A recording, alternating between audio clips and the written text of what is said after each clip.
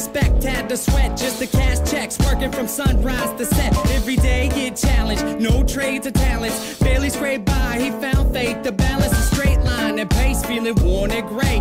Poor with four seeds, one more on the way. It was hard days indeed, all work and no play. He made sure things on the surface were okay, but something disturbing within his mind was lurking a slight twilight breeze would ease in through the curtains at night. It's like the sermon of a twisted apparition was urging him to listen to the train in the distance. At first, it wasn't intense, just one little instant. Sure, it didn't occur, he turned to resist it. As if it wasn't much more than just a figment of his imagination, but for days it was persistent and it went.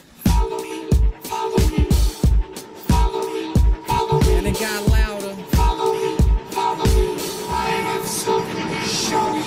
With time, people noticed he was acting berserk. Granny got a call saying he was absent from work, and that was the first. She ran to the pastor at church to ask him what was up with this disastrous curse. But bad with the worst, he came back three days after. No money in his wallet and his shirt on backwards. Stumbling, walked awkward. He called out for his daughter right before he split. The last lesson he taught her was this: If you ever have a son, let him know that his granddad loved him. But by the time that he's grown, be sure the seed is sown deep down into his dome. Don't ever ever walk to the train tracks alone. With that, he backed up, reached out for his jacket, told her not to act up and cracked up laughing. After all that happened, he left never to be seen. 15 years later, when my mother had me, her dad lived a life people can't understand. Went from a family man to rambling man, a gambling man that burned both ends of the candle. Folded his hand in, it was too hot to handle.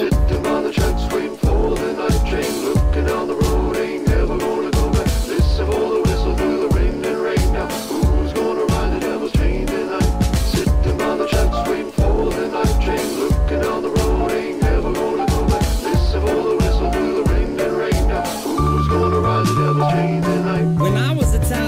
mom dropped fables and stories to warn me of the dangers that were laying before me. To keep it interesting, she would hide the lesson. To guide my direction, provide the right message.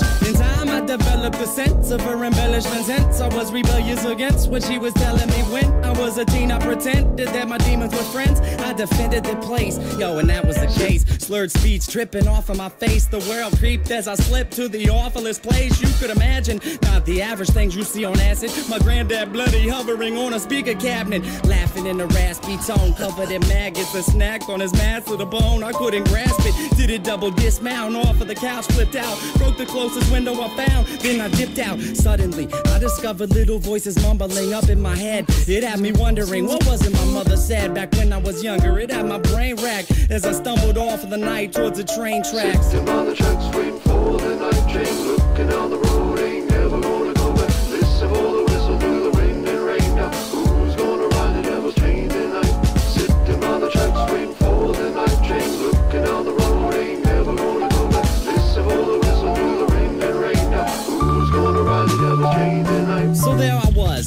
was, stalking through the dark with the buzz. I figured I should walk, that'll ease me off of these drugs. It's like a shark had to keep moving, it's that'd be ruined. If I sat still, I was doomed, and that wasn't doing. So I marched through the park, slow gone like Donnie Darko. The sparkle of the starlight like charcoal. Despite my demeanor, the night seemed more serene than a morphine fiend in the morgue. It seemed like I'd lost it. That was when my grandpop's carcass emerged from the dark, gurgling his words of carnage, but he couldn't talk. Something about the birth of sadness. I scurried off, I was on the verge of madness. I raced fast pace, and the landscape was strange, like a plane parallel to this one, but rearranged.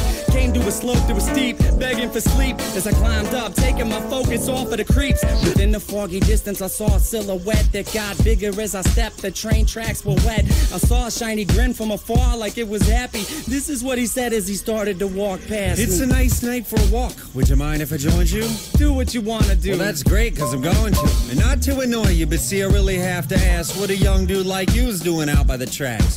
You waiting on a train? Nah, man, let me explain. Alright. I'm minding my business, so maybe you should do the same. I just been a witness to something sick and sadistic, so twistedly disgusting. You should feel real lucky you missed it. Ooh, easy with the tongue, son. Try to listen carefully. What you seen scary, but nothing when compared to me. I could show you things to paint all your dreams haunted. I can make you scream if I wanted. Or I can be the bee in your body, your best friend forever. Two peas in a pot flocking like birds of a feather. And you